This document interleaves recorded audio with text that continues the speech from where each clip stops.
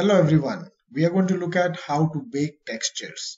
So if you have created multiple materials for creating the look of your object and now you want all those materials to be merged into one single image, then uh, how to do the baking is what we will be looking at. For example, in this example there is an eye and I had one material for the dark part, the other one for the brown, and then the one material for the white.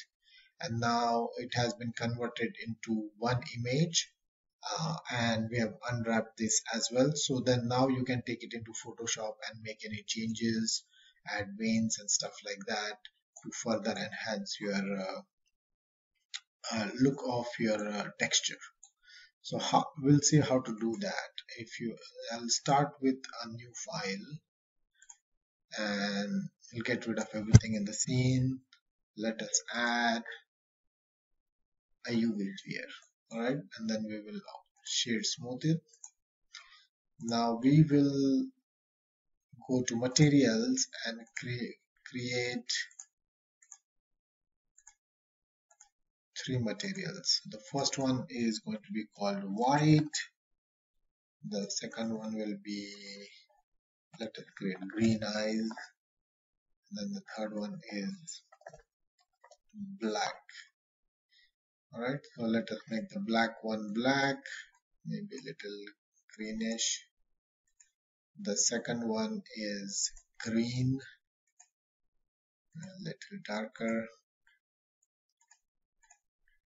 and the third one is white. Okay so I'll hit the edit tab and we will select this one and control plus and we'll assign the black material to it. Okay then we'll control plus this and control d select the central part and we'll assign the green material to that. And then now we have three materials we will convert this into an image texture. So right now there are there is no uh, image attached to our material uh, and then there are three materials. So we'll get rid of these three materials. We'll only have one and instead of the green material and black material we have the image texture. So to do that we will have to select the whole thing go to UV editing uh, before that I went into the transparent mode so we could uh, select everything into UV editing. Alright so this is our uh, unwrapped UV and if you go to the data properties and go to UV mapping you will see that the, there is a UV map saved.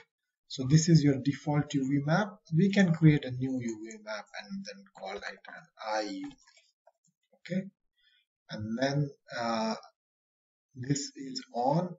And then now once we will change this we can see the difference okay? So for example I'll go to UV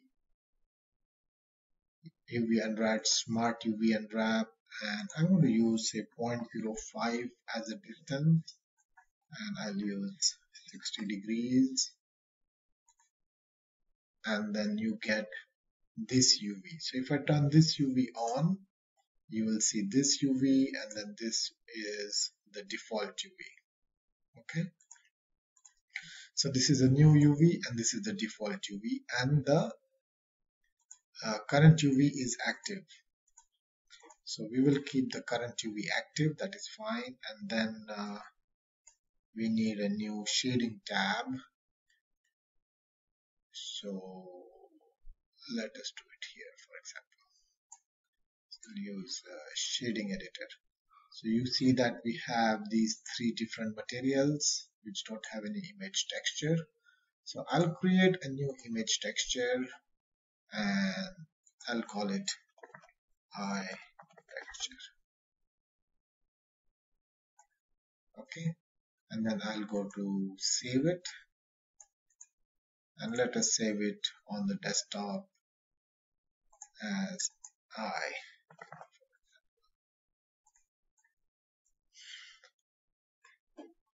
Alright, now what we need to do is we need to bring that eye texture into shading for Blender to bake it to that image.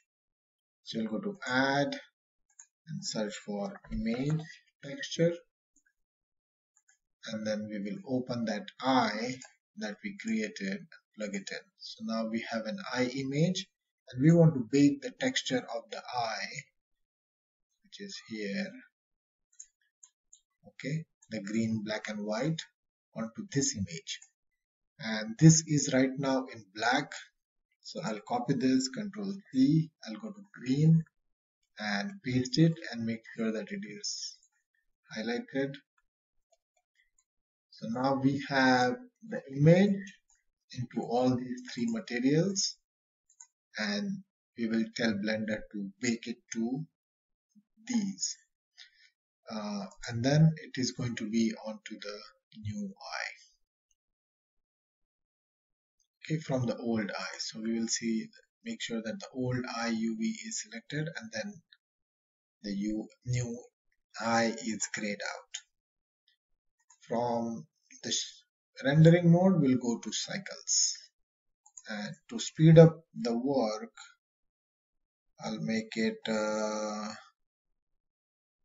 say 240 so the more samples you have the better the image quality will be. And then we'll remove the noise. Now we have to go to the bake section and we are going to bake only the diffuse and we don't want the direct and indirect we just want the color and then we select everything here and then we simply call it a bake. Now it is going to bake the texture and you will see the green and the black pop up here.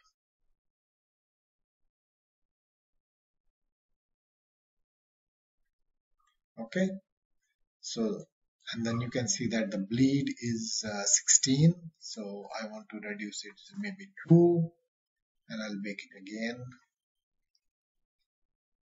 So if there is you don't want an overlap of color so I'll reduce that. Okay and you can see that now it is reduced. So I'll go to image save the image. And now we'll go to our modeling tab. Shading mode materials. Now we don't want the green material we'll remove it. We don't want the black material. And the white material is going to have base color of the image that we just created. And then we will go to UV map and we will turn on our new UV unwrap. Okay? So this one was the old UV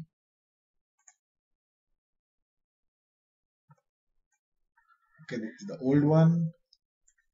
And we want to use the new one which is this one.